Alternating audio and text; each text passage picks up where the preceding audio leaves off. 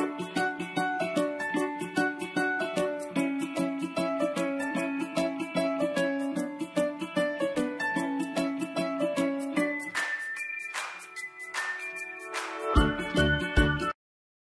Bonjour les amis, bonjour la famille. Alors, aujourd'hui, on se retrouve pour une nouvelle vidéo. Voilà, si vous êtes nouveau, alors je vous souhaite la bienvenue. Et si vous êtes ancien, je vous remercie d'être là aujourd'hui. Pour cette vidéo d'aujourd'hui, je vais vous donner une recette qui va aider votre bébé à prendre du poids. Et pour cela, vous aurez besoin, voilà, de deux pommes, d'une banane ainsi que du lait bébé. Passons à la préparation et j'espère franchement que vous n'allez pas oublier les amis de liker, de commenter et de partager parce que cela me fera beaucoup plaisir et m'encouragera toujours à vous donner des astuces. Du coup, euh, pour commencer, vous allez devoir euh, bien éplucher les pommes de terre. C'est vrai que certains vont dire pourquoi est-ce qu'il y a toujours des pommes dans les repas de bébé? C'est justement parce que les pommes de terre donnent une consistance un peu lourde, voilà, pour euh, les repas de bébé. Ça permet à bébé d'être bien rassasié. Et euh, soit c'est la pomme de terre, soit voilà, c'est parfois un peu de riz euh, ou bien parfois un peu de patate douce. Et tout cela, on mélange souvent avec des légumes.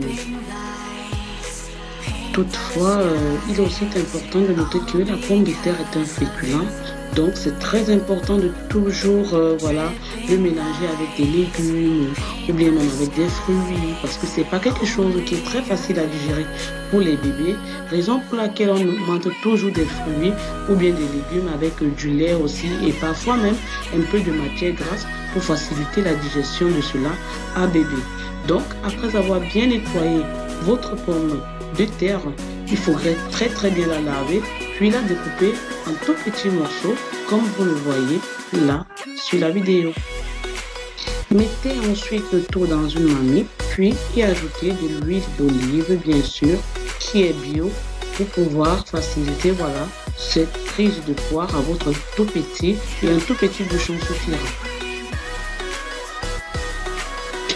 Après donc avoir fini de mettre tout dans une casserole et d'y ajouter un tout petit peu d'eau, mettez ça au feu et laissez reposer pendant 10 minutes le temps que voilà, les pommes soient très bien cuites. 10 minutes. En attendant que les pommes soient prêtes, je vais passer voilà au jus de fruits pour bébé parce qu'il faut pas oublier la pomme c'est un féculent vraiment qui n'est pas très facile à digérer comme je l'ai dit dès le départ. Donc il faudrait aussi mettre à côté un jus de fruits pour bébé. Et moi j'ai choisi le jus d'orange qui est très riche en vitamine C et qui facilite la digestion à bébé lorsqu'il prend des aliments comme voilà des féculents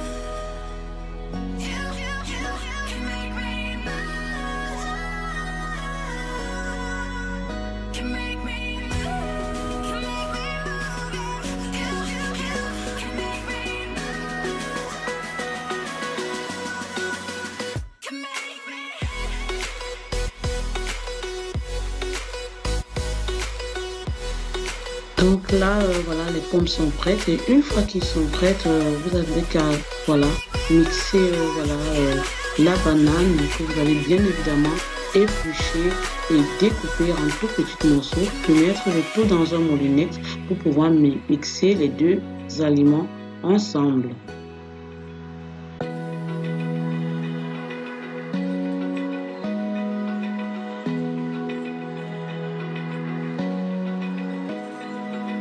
Open eye.